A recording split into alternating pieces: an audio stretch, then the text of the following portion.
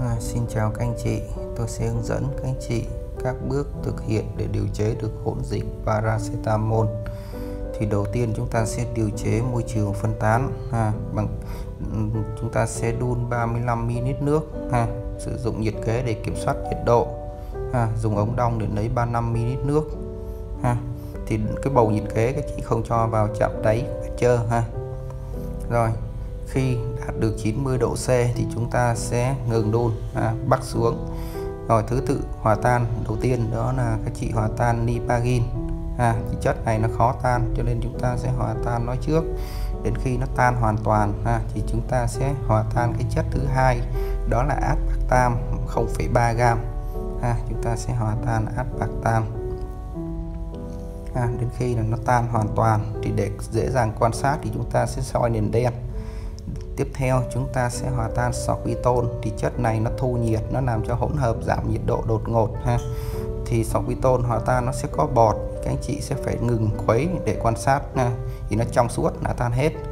Rồi saccharose là chất tiếp theo, chúng ta sẽ hòa tan, ha. chúng ta sẽ khuấy cho đến khi là nó tan hoàn toàn, dung dịch nó trong suốt, ha. Rồi, kiểm soát nhiệt độ của hỗn hợp dưới 60 độ C bằng nhiệt kế, ha. Chúng ta sẽ kiểm tra đến khi nào nó dưới 60 độ ha. Thì chúng ta mới hòa tan cái chất tiếp theo đó là natri citrat ha. Mình cho natri citrat vào ha mình khuấy. Rồi điều chế khối ẩm ha. À, điều chế gồm xanthan tôi xin lỗi thì mình sẽ cân 2 gam glycerin ha, cần 2 gam glycerin cho vào một cốc có mỏ ha, cốc 250 rồi sau đó chúng ta sẽ cân gồm xanthan và cho vào trong glycerin ha, trộn đều trong 5 phút ha, trộn đều trong 5 phút rồi sau đó mình sẽ cân hỗn hợp glycerin 4g và 0,5 gram nước ha, để điều chế cái khối nhão ha, điều chế cái khối nhão ha.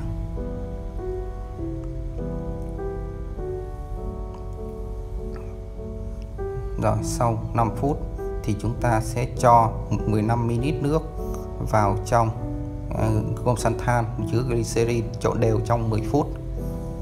Rồi tiệt trùng cối chày ha, chúng ta tiệt trùng cối chày để điều chế cái khối nhão cho paracetamol vào.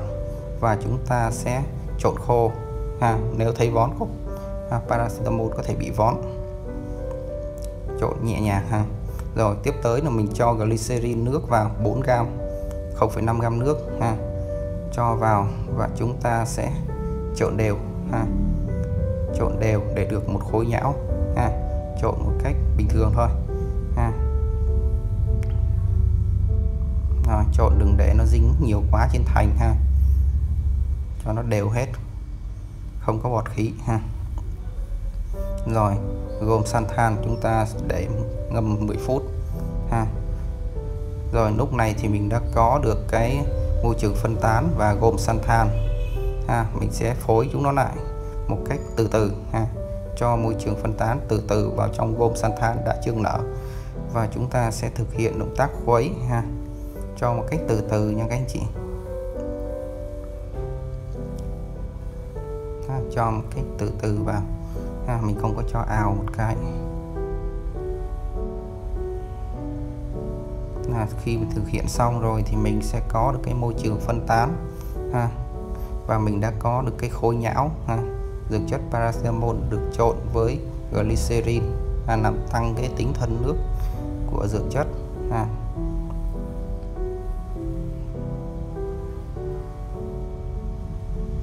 rồi cho hết vào thì mình sẽ có được môi trường phân tán rồi đấy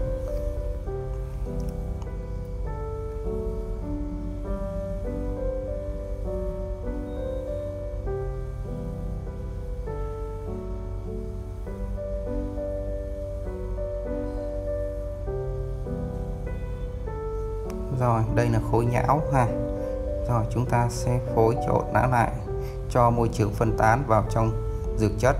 Hiện tại nó đang là khối nhão thì chúng ta cũng sẽ cho từ từ ha. bước này rất quan trọng sẽ ảnh hưởng đến chất lượng của hỗn dịch. Nên chúng ta cho vào chúng ta khuấy trộn thật kỹ ha.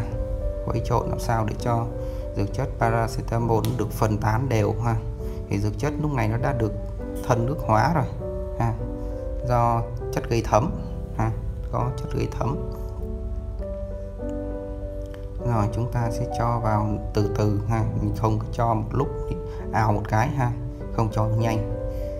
À, bước này mình làm cẩn thận bởi vì nó sẽ ảnh hưởng đến chất lượng của hỗn dịch.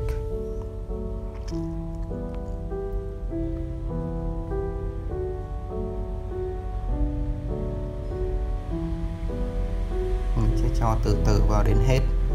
Ha.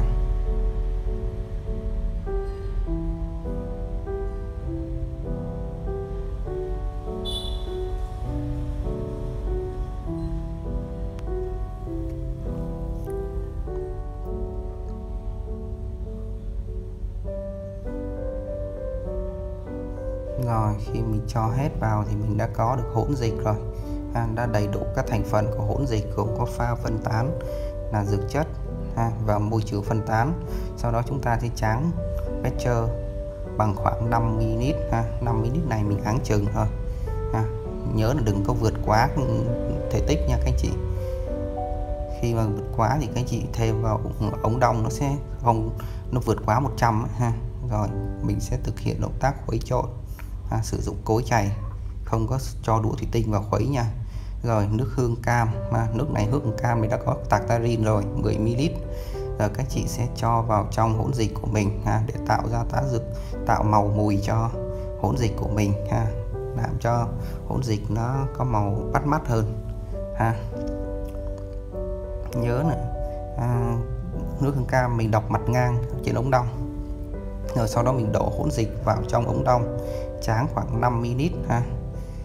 Rồi thì thể tích lúc này nó là khoảng gần 90 rồi. À, mình tráng khoảng 5 ml thôi.